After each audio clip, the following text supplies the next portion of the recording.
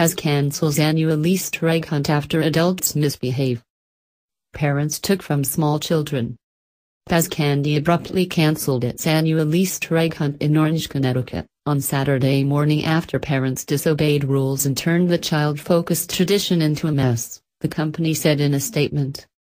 We sincerely tried our best to create a fun, free activity for everyone to enjoy.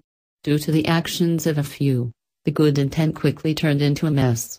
PEZ wrote in response to a critical comment on its Facebook page. We only wanted to do good for the local community.